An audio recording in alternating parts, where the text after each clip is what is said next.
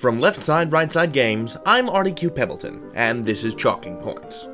Ben via Facebook wants to know about the, quote, addition of the unnecessary B to words like doubt and subtle, end quote. Ben, I have bad news. It is the fault of those wacky Latinists!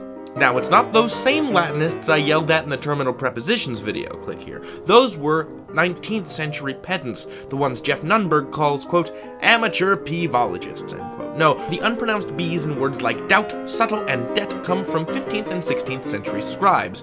This spelling tendency can't be traced back to any one person insofar as I've found, but I can tell you my best guess at how it happened. As you know, my internet chums, English is a Germanic language that has a lot of French in it, because of the time that the Norman French invaded England in 1066, bringing their language with them. This is how Latin words entered English, because Latin is French's parent language. In Latin, the word for to doubt is dubitare, Note the B in dubitare, but the French word for doubt is doute. And indeed, that was how it was spelled in English until the 16th century. The 13th century English historian Robert of Gloucester, in line 376 of his Life and Martyrdom of Thomas Becket, writes, quote, Vana was the bishop in greata douta. You see? Looking at the Oxford English Dictionary, I don't see a citation for doubt with a B until 1556. But why, you're asking? Why the silent B in subtle, originally from the Latin subtilis, and then from the Old French subtil, and the silent B in debt, from the Latin debitum, and then from the Old French det?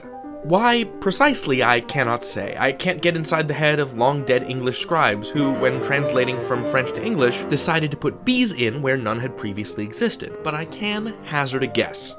If you knew English well enough to write it down in medieval Europe, you doubtless knew Latin and Greek, because by and large that was the language that the Bible was in. There are a few factors at play here for our medieval scholars. First, there are no dictionaries yet, so there isn't any standardized spelling in English. Second, Latin is a holy tongue, and getting more in touch with Latin is important to the English intelligentsia, because they want to be closer to God.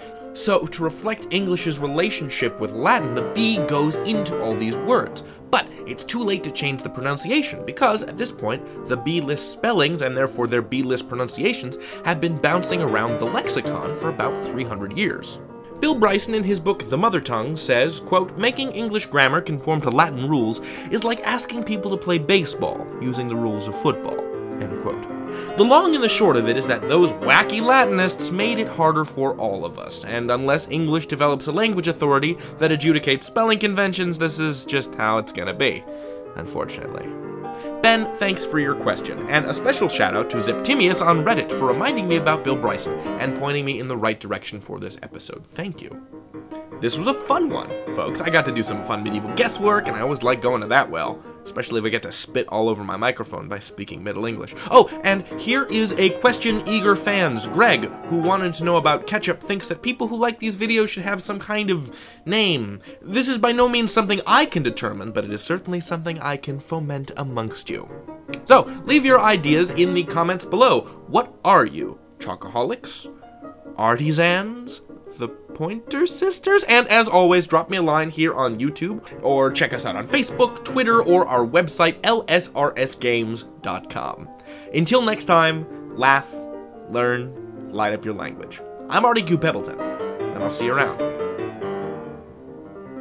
To learn more about a different kind of bee, check out this video about the waggle dance of the honeybee. You are welcome.